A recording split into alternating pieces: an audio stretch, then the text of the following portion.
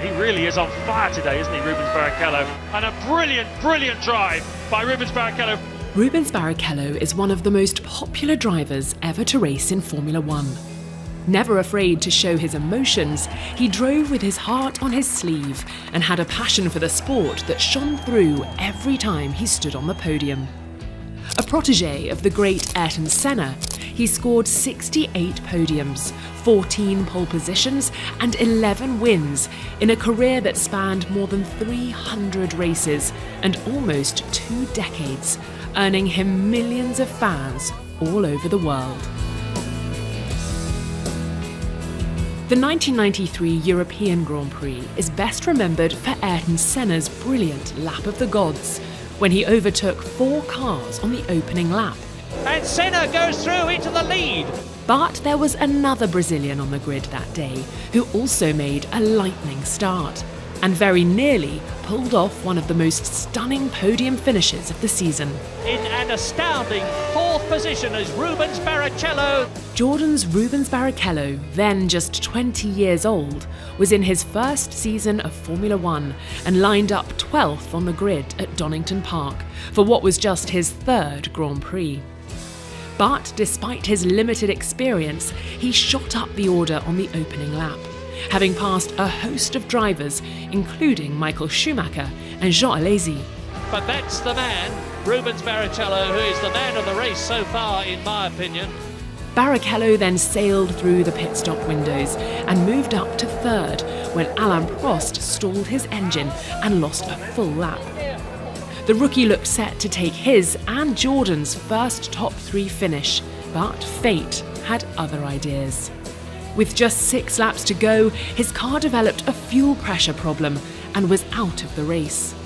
He may not have scored his maiden podium on that damp day at Donington, but his stunning wet weather drive left no one in any doubt that the Brazilian rookie was ready to make waves in Formula One. After seven seasons racing in F1, Barrichello finally got his big chance with a move to Ferrari in 2000. He was partnered with Michael Schumacher, who was just about to embark on one of the most dominant runs in Formula One history. But Schumacher didn't have it all his own way. At the 2000 Spanish Grand Prix, it was the Brazilian who came out on top in the teammate battle. With 15 laps to go, Barrichello was running in fifth, but unable to find a way past Michael's brother, Ralf Schumacher, driving a Williams. But then the two of them caught up to Michael in third place, with Ralf harrying his older brother around the Barcelona track as Barrichello watched and waited for his chance. At turn 10, Ralf dived down the inside of Michael, and Barrichello closed right up to them before the gap closed. But then, at the next corner, Michael pushed Ralf wide to try to defend his position. Barrichello saw his chance and slipped through on the inside to take both of them. He'd taken two Schumachers in one brilliant move. His reward was third position, which he would keep all the way to the flag to seal his second podium of the year in terrific style. Rubens Barrichello took 14 pole positions in his Formula One career, most of them at the wheel of a Ferrari. But perhaps the sweetest was his very first, which he took in just his second season and at one of the toughest circuits on the calendar, Spa Francorchamps. At the time, qualifying was split into two hour long sessions, one on Friday and another on Saturday. The Friday session was held in typical Spa conditions, with rain falling for most of the hour until it stopped late on. Several drivers bolted on slick tyres to try their luck on the drying track. Jean Alesi was hindered by a slower car in front of him, and Michael Schumacher spun. Barrichello again showed his wet weather prowess and stayed on track to record the quickest time in his Jordan, three tenths ahead of Schumacher's Benetton. On Saturday, the rain fell even harder, and despite a host of top drivers going out to try to best Barrichello, none of them could get within four seconds of his time, and the Brazilian, who opted not to run at all, watched on in the Jordan garage as one by one they came up short. He and the Jordan team had their first pole position, which at the time made him the youngest driver ever to do so. La Formula 1 era, era un momento più glorioso che potevo arrivare. Una pole position qua è veramente un momento molto speciale. Rubens Barrichello didn't manage to stand on the F1 podium in his debut season. But the following year, he only had to wait until the second race to secure his first top three finish. The Brazilian outqualified his teammate Aguri Suzuki by a whopping 1.5 seconds to put his Jordan eighth on the grid for the 1994 Pacific Grand Prix at Aida in Japan. When the lights went out, he kept out of trouble as Mika Hakkinen tipped pole sitter Ayrton Senna into a spin and out of the race. With Senna's Williams then hit by the Ferrari of Nicola Larini, Barrichello took advantage of the melee to squeeze past Martin Brundle for fifth. The Brazilian brilliantly fending off numerous attacks from the Englishman as the race progressed. Martin Brundle challenging for third. And Barrichello is keeping ahead of the enormously experienced Brundle. Retirements for Hakkinen and Damon Hill promoted him to third, a position he would not relinquish. And unlike his heartbreak at Donington, he held his nerve to finally clinch that all important first podium. Also, the first ever top three finish for the Jordan team. As a proud Brazilian, Barrichello wanted nothing more than a victory in his home Grand Prix, especially since his passion for motor racing had first been ignited by hearing the roar of Formula One cars thunder around the Interlagos circuit, which was just a stone's throw from his grandmother's house in Sao Paulo. At the 1999 race, Barrichello was at the wheel of a Stewart Ford and qualified a superb third, behind the dominant McLaren duo of Mika Hakkinen and David Coulthard. He sprinted into second when Coulthard stalled on the grid, but then things got even better just four laps later, when Barrichello sent the huge partisan crowd into dreamland as he took the lead of the race, with pole sitter Hakkinen hampered by a gearbox problem. The fans roared as they watched their hero swoop past the McLaren into P1, a position he would keep for some 23 laps as he drove out of his skin to make his dream a reality. Sadly, it ended in heartbreak when his engine died on lap 42, putting him out of the race. It was a bitter pill to swallow for Rubinho, as he was known to his home fans, but they would never forget the day when he wrung every ounce of pace out of his Stewart to so nearly win his home Grand Prix. Michael Schumacher, Juan Pablo Montoya, and Ralf Schumacher were all uncompromising competitors who fought for every inch of track when they were racing in Formula One.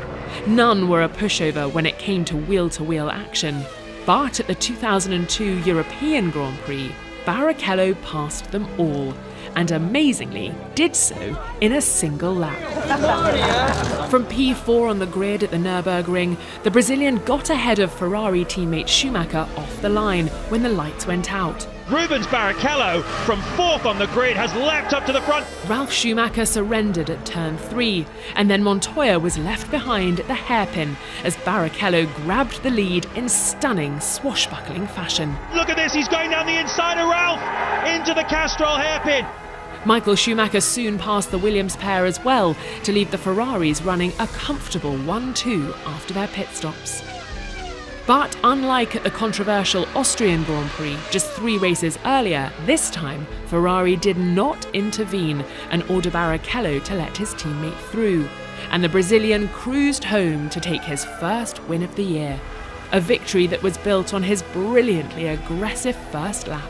What a fantastic race. I mean, in terms of pushing and performance, and uh, I want to thank everyone at Ferrari because the car was really good.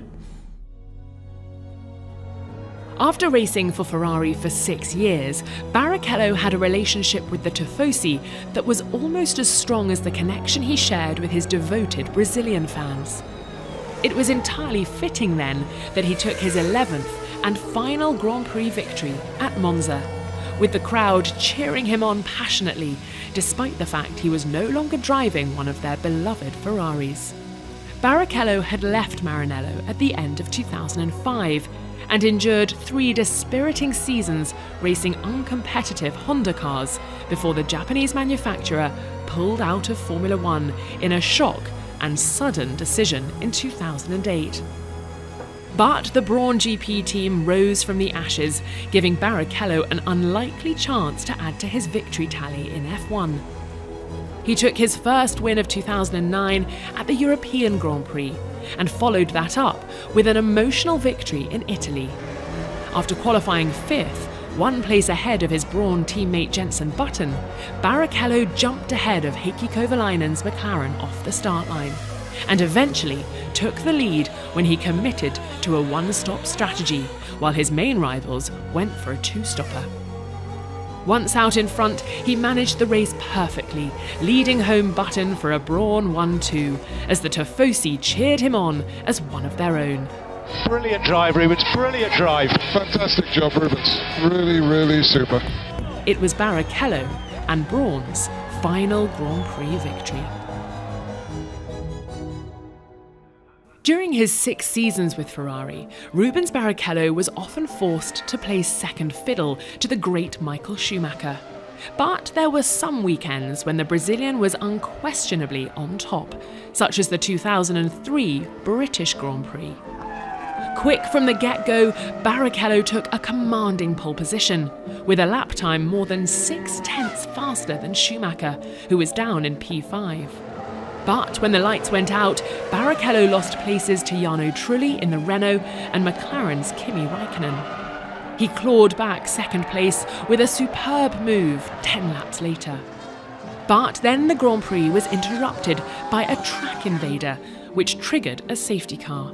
Once racing resumed, Barrichello went on a charge, pulling off brave and committed moves on Ralf Schumacher and Juan Pablo Montoya. Wow, what a move by Rubens Barrichello!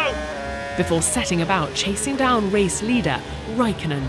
The two then engaged in a thrilling wheel to wheel battle before Barrichello eventually made his move. And the crowd at Silverstone is going bananas! He raced on to take one of the finest victories of his career and one that epitomised his bravery, talent, and overwhelming will to win. For me, it's, it's a fantastic feeling. The last two weeks, people have been saying so many things about first lap crashing, Rubens this and that, so I hope they shut up now. I overtook a lot of people. In 1997, Barrichello left Jordan after four years and joined Jackie Stewart's brand new outfit with high hopes for the season ahead. Unfortunately, the Stewart Ford team suffered from dreadful reliability in their first year in the sport, with Barrichello forced to retire from all but three races. But there was one particular bright spot in an otherwise frustrating year when the stars aligned at the Monaco Grand Prix and the Brazilian put together a race weekend that delivered the most unexpected of results. He qualified 10th, a full 1.2 seconds faster than teammate Jan Magnussen. But it was race day when it all came together for Barrichello. Rain fell before the start of the race, giving the track the wet conditions in which he often excelled. Rubens Barrichello in the Stewart Ford is up into sixth position. And so it would prove as a host of drivers ahead of him slid out on the slippery surface. He also managed to overtake Ralf Schumacher on track, getting past the Jordan driver at the notoriously difficult hairpin. And he goes through as Ralf Schumacher. Reliability had been the Achilles heel of the Stewart team, but for once it held together and Barrichello crossed the line in second place to earn the first podium finish for the brand new team in their first season. And the most prestigious Grand Prix on the calendar, where team principal Sir Jackie had taken three victories himself as a driver. An emotional moment for all involved. I can't tell you how happy I am. I've never been second in Monaco. Despite his proven potential, Barrichello was in his eighth season of Formula One and still without a victory to his name after more than 120 races when the F1 paddock set up camp at the Hockenheim Ring for the German Grand Prix. And if this was the race that Barrichello was going to break his wins duck, it certainly didn't appear that way on Saturday when his Ferrari developed an oil leak. He had to use teammate Michael Schumacher's car and setup for qualifying, and could only manage a lowly P18 on the grid. A huge crowd of more than 100,000 spectators turned up on race day, expecting to cheer Schumacher on to victory. But the home hero was out of the race at the very first corner. Straight into the barrier! It's Schumacher! Incredible! Michael Schumacher is out of the race before it's hardly begun! It looked like being a disappointing day for Ferrari, but Barrichello had other ideas. He vaulted up an astonishing eight positions on the first lap alone, and by lap six, he was running sixth, before passing Johnny Herbert for fifth Pedro de la Rosa for fourth, and Jarno Trulli for third. A miracle was on the cards. After the pit stops and two safety car periods, Mika Hakkinen was leading for McLaren when rain began to fall. Most of the field dived into the pits for wets, but Barrichello gambled. Rubens Barrichello carries on and takes the lead in the German Grand Prix. Staying out on dry tyres and backing himself to cope with the tricky conditions.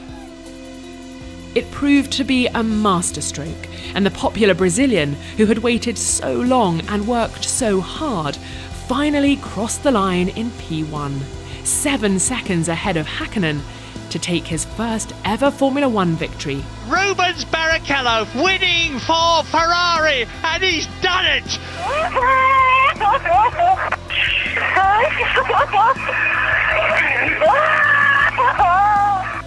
With celebrations that will never be forgotten. Rubens Barrichello gave everything to Formula One, which is why he remains such a popular figure in the paddock and one of the greatest drivers in history.